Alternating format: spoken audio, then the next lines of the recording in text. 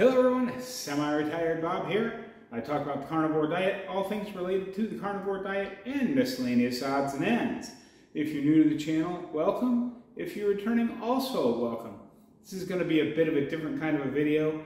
I am still down here in North Carolina because it is still Saturday. This is the third video I've recorded today trying to get content for you guys next week. And I came up with an idea. I haven't done any camera type stuff in a while. So I'm going to show you a new piece of camera stuff that I bought specifically for hiking and walking. Um, and then I'm going to show you a couple of new stretches I've been doing as well at the end. So it's a little bit of a camera video, a little bit of a stretching video. I hope you enjoy this. Um, if not, sorry, I'll see you in the next one if you're not wild about this kind of stuff.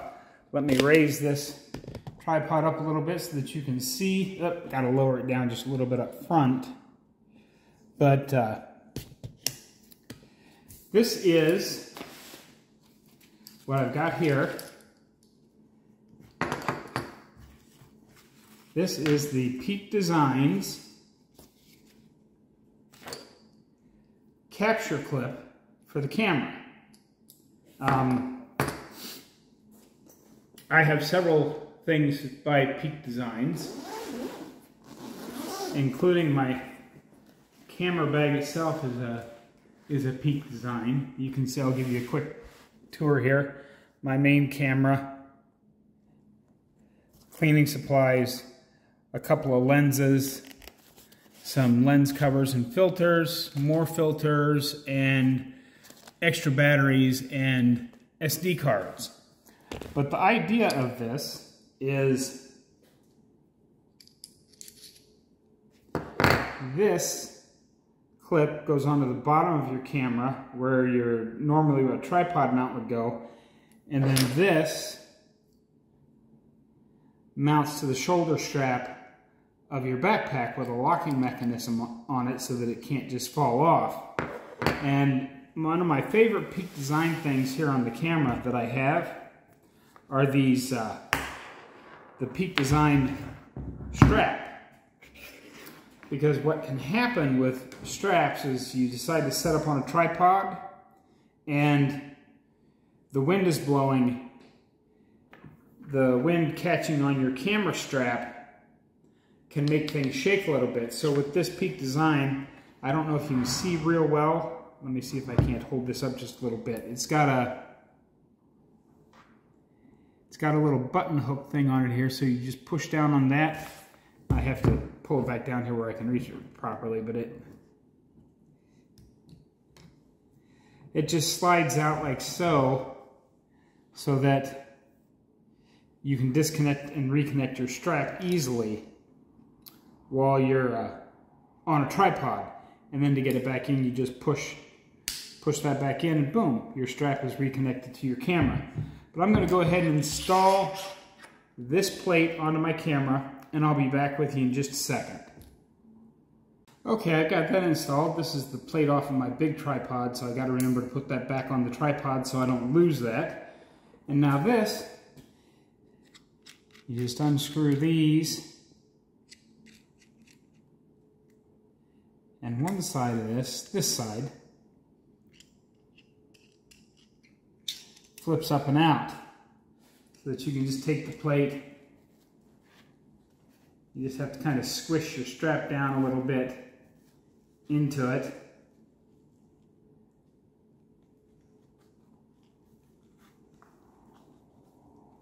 This is a little bit thick. Let me go ahead and put this on there and see if I can make it. Let's actually, let's put it up here so that it doesn't, uh, no. That's the one I want it on right there. So you put it on there, flip it around that way. You got to make sure that the, the catch stop is to, towards the ground.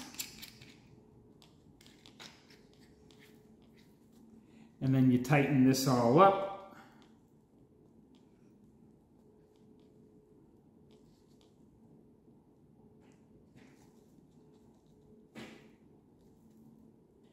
See, you still hear that flag banging into the door. It's running so hard out there. Oh, that's a little off center, but let's see if that works. I might have to readjust it. Let me put my backpack on here. I'm not to strap it all the way up. But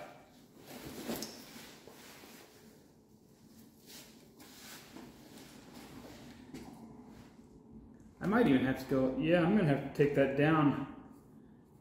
I want that down lower. It's still a little bit too high. That's not going to work out right. Okay, so after I get this adjusted, I'll be back with you. Okay, so I got it all set up now.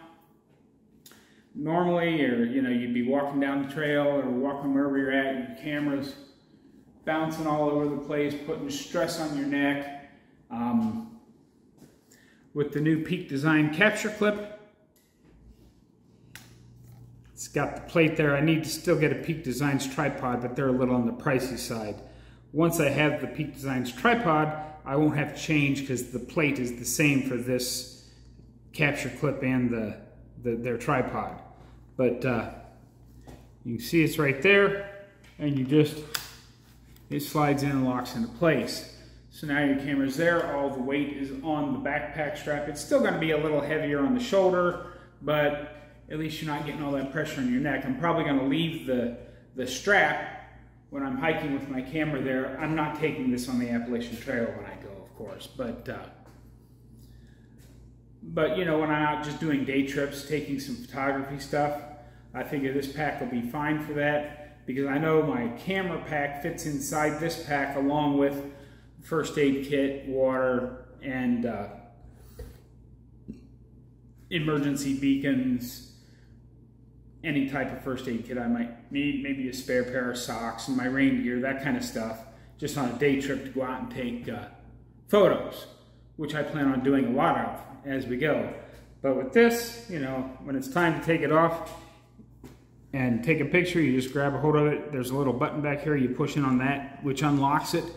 You slide it right out, and boom, you are ready to take pictures. And then when you're done, you're ready to move on down the trail, you just slide that back in and it locks. You don't have to push the button to put it down in there. So that's what I've got for camera stuff today. Give me just a second to get all this stuff put away and I'll show you a couple of, one of the stretches I've been doing. Um, so yeah, that's, that's my camera stuff for this, for this video. I hope you enjoyed that quick little camera. Now let me get switched over and we'll do some, uh, some stretching. Of course, with the magic of editing, it'll be like I was never gone.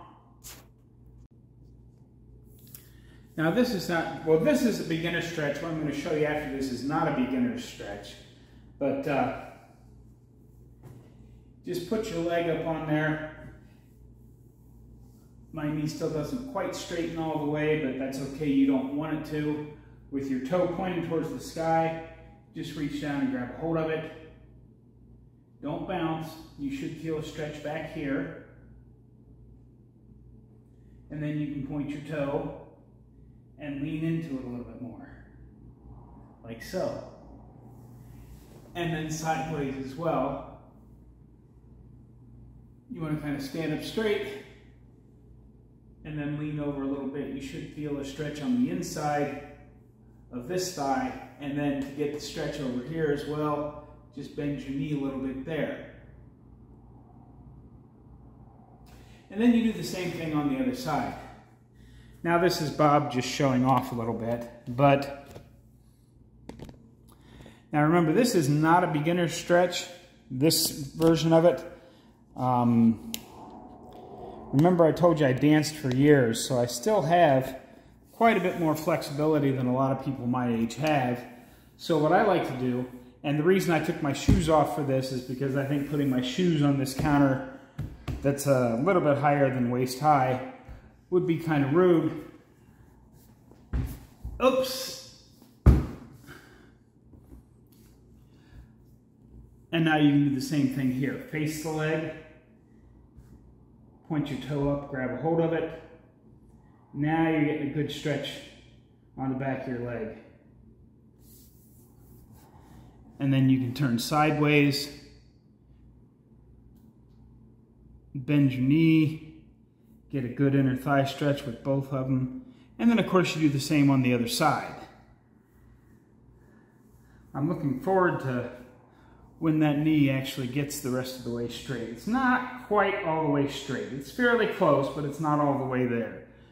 But uh, that's some of the stretches I've been doing because as I've told you, I would like to get back to dancing this year when I get back to Omaha. So we will see how that goes. Oh, that's not a good spot. That'll be all right. But I hope a couple new stretches. And like I said, I would start on a chair and then find things that gradually let your leg get higher. Um, of course, I'm not one of these young flexible ballerinas. My leg doesn't go all the way up to here. My arm doesn't even go all the way up to here. But start with whatever feels like a stretch to you and just slowly push into it a little bit more each day. And eventually you'll get back to much better flexibility. I know I have. I, because uh, when I first started doing these stretches again a couple of months ago, I could barely get my leg up on that chair to stretch. And now, you see, I'm back to counter height, which is just a little bit above my waist. I'm looking forward to getting back to the dance studio sometime midsummer, late, early fall, and seeing if I can't get my leg all the way up onto the top bar, which is just a little bit below my shoulder height. We'll see how that goes. But anyway, that's what I've got for you today. I hope you enjoyed this quick little video. This is kind of a goofy, strange kind of video, but I uh, I had this idea while I was sitting there getting ready to pack everything up to get, to get moving and thought, eh, let's go ahead and throw it together since we weren't going to have a video on Tuesday anyway. Let's go ahead and throw this out there, get it uploaded, and see what people think. If you'd like to see more camera style videos, let me know. I'll be happy to throw some more of those in there because I've got a lot of things in my camera bag that I've never reviewed, and I'd be happy to share those with you at some point. But that's what I've got for you today, folks. Don't forget to get out there, be 1% better each and every day. Have a great day, folks. I'll see you next time.